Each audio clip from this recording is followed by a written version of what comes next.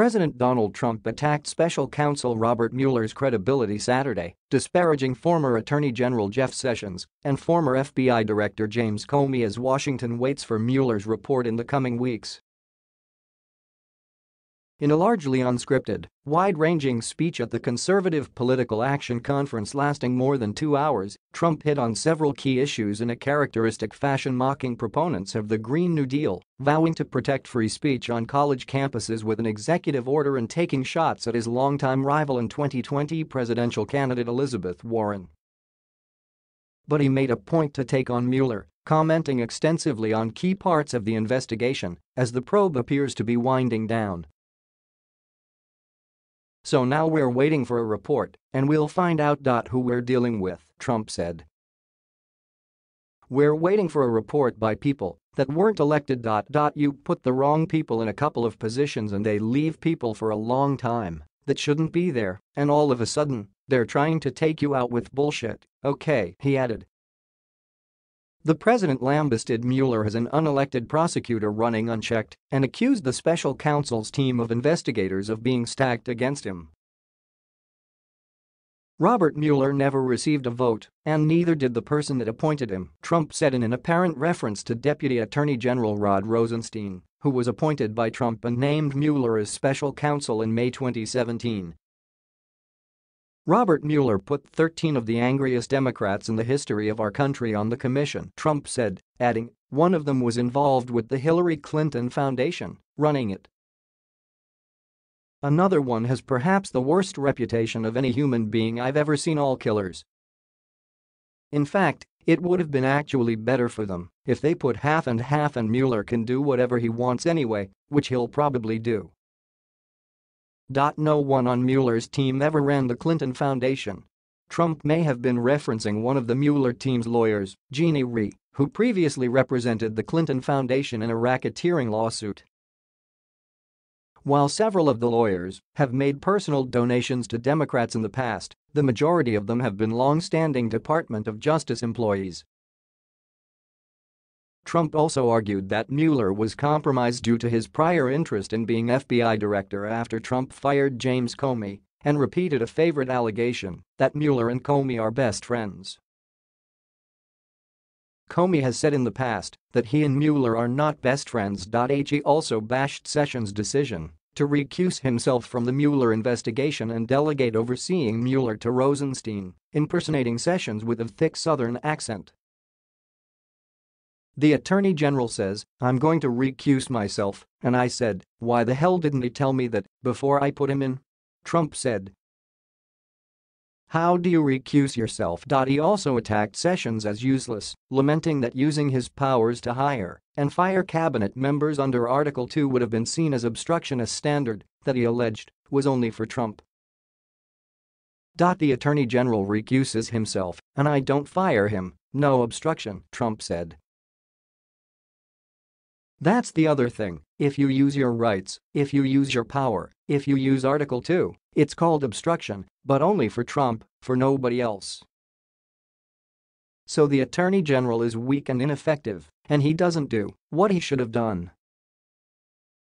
Trump fired Sessions in November following an increasingly strained relationship and months of personal attacks by the president he also recounted Comey's firing as being due to the former FBI director being a bad bad guy, saying that he had discussed it at the time with First Lady Melania Trump and that he had anticipated bipartisan support after Democrats voiced criticism of Comey.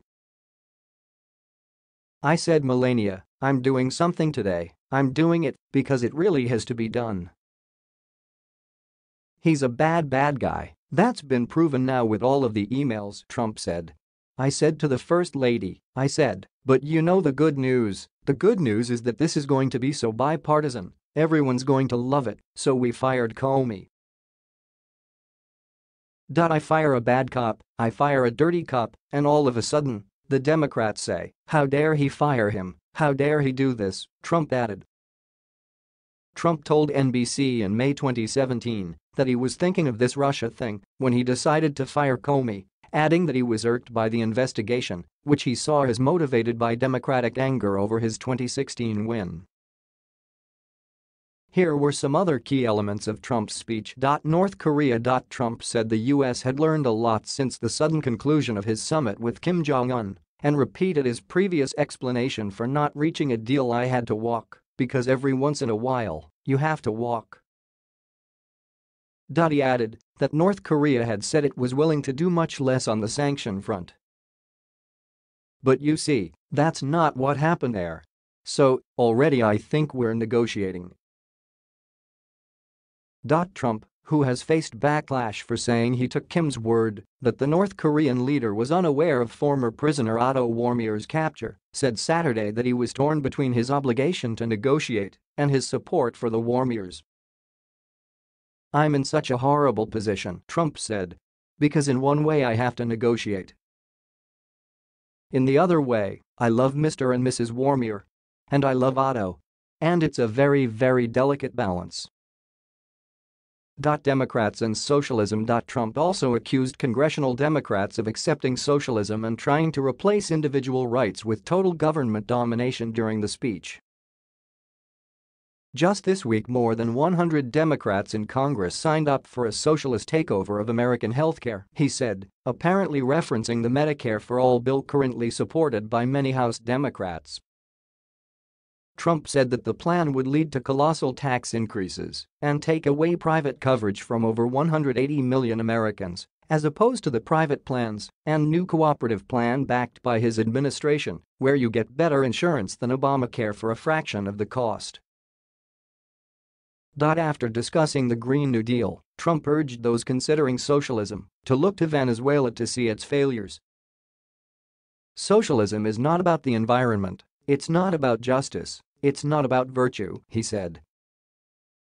Socialism is about only one thing it's called power for the ruling class, that's what it is. Look at what's happening in Venezuela and so many other places. Green New Deal. Trump came out swinging against the Green New Deal, calling the Progressive Climate Plan an attempt by Democrats to completely take over American energy and completely destroy America's economy through their new $100 trillion Green New Deal which somebody described as a high school term paper written by a poor student. He said that the plan would destroy the natural gas, nuclear power and auto industries as their plan would remove every gas-powered car from American roads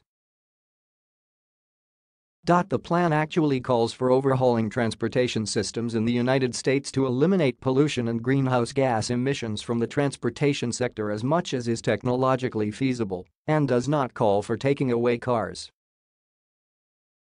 You just have to cross 95% of the world, and it would force the destruction or renovation of virtually every existing structure in the United States, he said of the plan, which aims to maximizing buildings' energy efficiency New York City would have to rip down buildings and rebuild them again. I don't think so.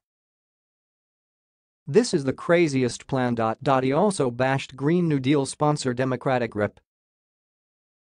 Alexandria Ocasio-Cortez of New York, saying, I see the white-haired, longtime senators standing behind this young woman, and she's ranting and raving like a lunatic and the senators, these senators yes, I agree with this, yes, I agree. 2020. Trump specifically targeted 2020 presidential candidate and Democratic Sen.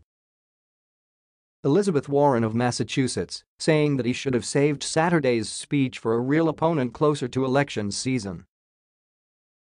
I just want to be the Republican that runs against them, he said of Democrats endorsing progressive projects such as the Green New Deal. I'm going to regret this speech, this speech should have been delivered one year from now and not now, damn it. He also reused his Pocahontas nickname for Warren, claiming that he's destroyed her career such that she won't be the Democratic nominee he'll face in 2020. I should have saved the Pocahontas thing for another year because I've destroyed her political career and now I won't get a chance to run against her and I would have loved it, he said. I don't want to knock out all of the good stuff and end up with somebody that's actually got talent, that would be bad. ISIS. Trump also referenced his efforts to eradicate ISIS's presence in Iraq, telling the CPAC audience that different generals told him on his trip to Iraq that they could defeat the group in one week as opposed to two years. What I was told by a general who I had to fire, I said, General, how long before we get 100% of the caliphate? He said, Sir, two years. I said, I can't take it two years. And then I flew to Iraq, Trump said. It was unclear to whom Trump was specifically referencing, but former Defense Secretary Gen.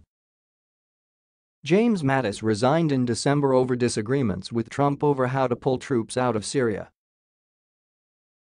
Trump said that while in Iraq, he asked generals there why it would take two years to knock off 2 or 3 or 4 percent, which is what we had left. He said that a general he called Raisin Caine then told him, it won't, sir, if we attack them in a different manner, we can do it much faster.